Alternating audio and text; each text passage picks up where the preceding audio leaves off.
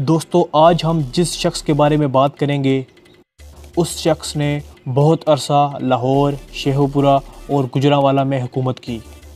इस शख्स की दहशत लोगों के दिलों में थी।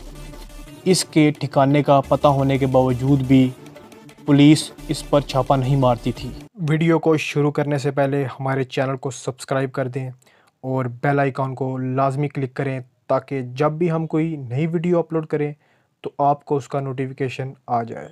शुक्रिया। दोस्तों आज हम बात करेंगे नूरी गाचा की। नूरी गाचा का असल नाम नूर मोहम्मद था।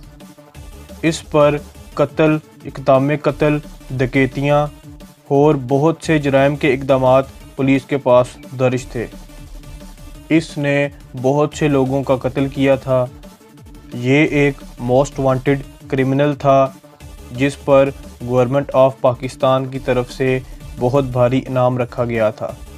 ये फैज़पुर हुर्द में रहता था, जो ज़िला शेखोपुरा में वाक़ है। इसकी दहशत लाहौर, शेखोपुरा और गुजरावाला में थी।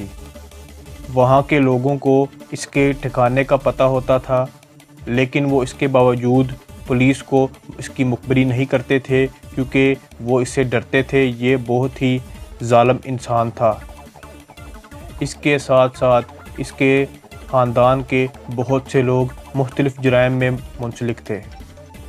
दोस्तों, जब नूरी गाचा को इश्तारी करार दे दिया गया तो ये उस वक़्त अपना ज़्यादा टाइम अपने घर पर ही गुजारता था। इसके घर पर पुलिस ने बहुत बार छापा मारा। इसके नतीजे में ये आगे से पुलिस को भरपूर जवाब देता और पुलिस को बहुत नुकसान उठाना पड़ता। ये एक बहुत बड़ा डकैत भी था। ये बहुत सारी डकैतियों में मुलवस रहा था। इसने बहुत से बेगुनाह लोगों की जानें भी ली थी। पुलिस ने बहुत बार इस पर हमला किया, मगर हर बार पुलिस नाकाम रही।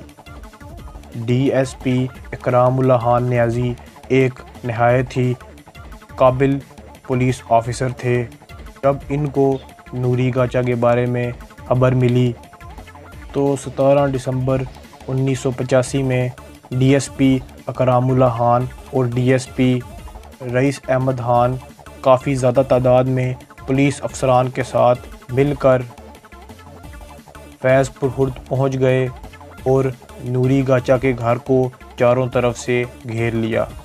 उन्होंने नूरी गाचा से कहा कि वो अपने आप को कानून के हवाले कर दे, मगर नूरी जानता था कि अगर उसने अपने आप को पुलिस के हवाले कर दिया तो वो इसको डायरेक्ट सर पर गोली ही मारेंगे।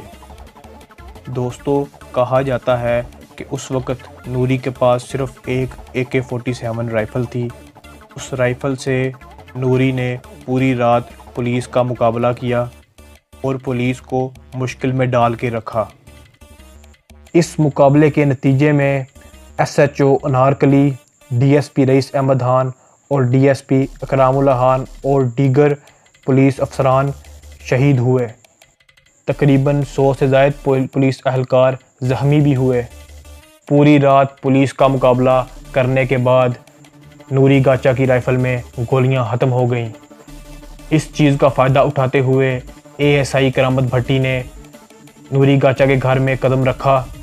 घर के जिस हिस्से में नूरी गाचा छिपा था, उस हिस्से में आँसू गैस के शेल फेंके। आँसू गैस के शैल फेंकने से नूरी गाचा मदहोश हो गया।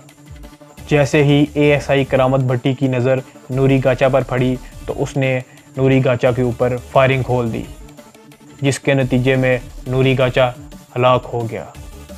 और इसी के साथ नूरी गाचा की दहशत भी उसी के साथ ख़त्म हो गई। वीडियो के आखिर में आप लोगों से एक छोटी सी रिक्वेस्ट है। दोस्तों, अपने बच्चों को आला से आला तालीम हासिल करवाएँ और इस चीज़ पर लाजमी नज़र रखें कि उनका उठना, बैठना किस तरह के लोगों के साथ है? अपने बच्चों को बुरी सोहबत से दूर रखें। अपना बहुत सारा ख्याल रखें। आपसे अगली वीडियो में मुलाकात होगी। तब तक अल्लाह हाफिज़।